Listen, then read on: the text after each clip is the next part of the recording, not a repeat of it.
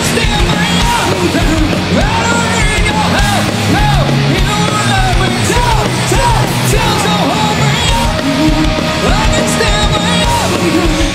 Hi everyone, we are back at Hellfest 2022 for this uh, 15th anniversary, and it's a great honor to have uh, Tim from the band Rise Against right here. So, how are you doing, Tim? I'm doing great, merci. Yeah, this is great to be here, to be back at Hellfest after so many years. We haven't been on tour, you know, and we've missed this festival. This is such a, an epic and legendary one.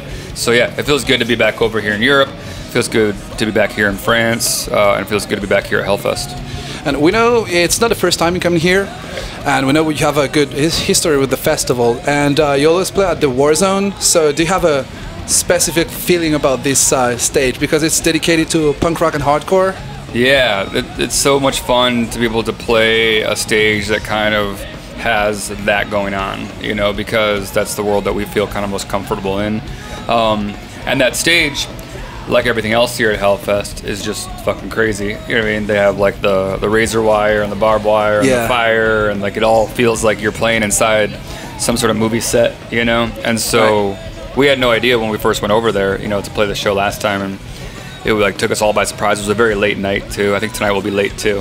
Um, yeah, you're headlining tonight. yeah, and so it, it will be. I remember the crowd. I remember thinking there will be nobody here, still here at midnight. You know what I mean? And we'll play for you know people who have gone to bed. And I was wrong because Yeah. there was a lot of people, and it turned out to be one of the more memorable shows of the tour. That's the overall feeling. Uh, from last week, we're here, and uh, the overall feeling is like everyone is really happy to be back at the festival. Everyone is happy to uh, party again, to see bands, even the bands right here at the artist area. Every, the, the overall feeling is like very optimistic and very kind and very cool.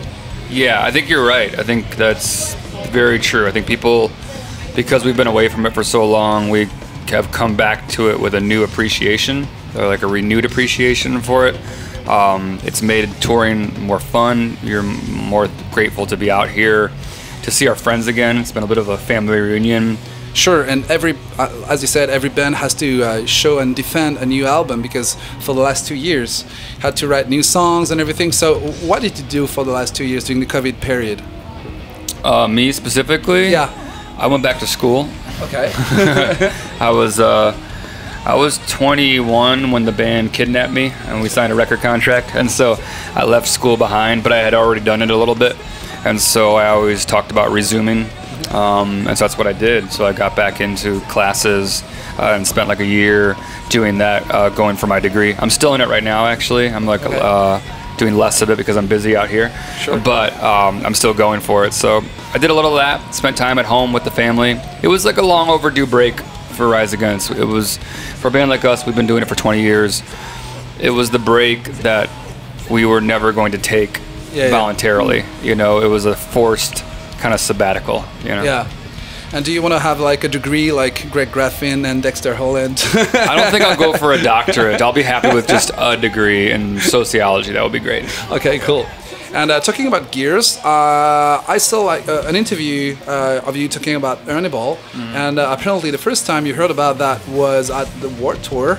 Yeah, that was the first time I became really intimately familiar with Ernie Ball, is because they were out there. Ernie Ball was out there. Prior to that, I think that when I started playing guitar, I played whatever strings were just the cheapest, you know. And I remember even buying single strings, you Yeah. know, back in the day, uh, just to replace a string here and there because you couldn't afford a whole set of strings.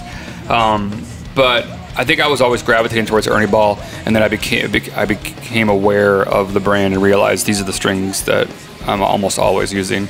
And so when they agreed to help us out, you know, and, and, and hook us up, then that was great because they were the strings that we always relied on. So, and those are the strings we've been playing for like 20 years. Sure. And what is your uh, gauge tuning and uh, string Oh, yeah. tension and everything? So I just do like a 10 gauge, like 10 to 46. 1046. Yeah, like yeah. Standard. Standard, yeah. And then, but I, we Rise Against tunes to E flat. So our first record was in standard E, but everything after that we tuned to E flat. We heard some bands that just sounded like a little bit darker, a little bit heavier. You know, um, it made it uh, gave me more options as a vocalist too. Yeah. And so we've always been an E flat, and, and then every once in a while we have like a drop D tuning song. Okay. So maybe like five or six out of our whole catalog, like with some drop D tuning. Okay.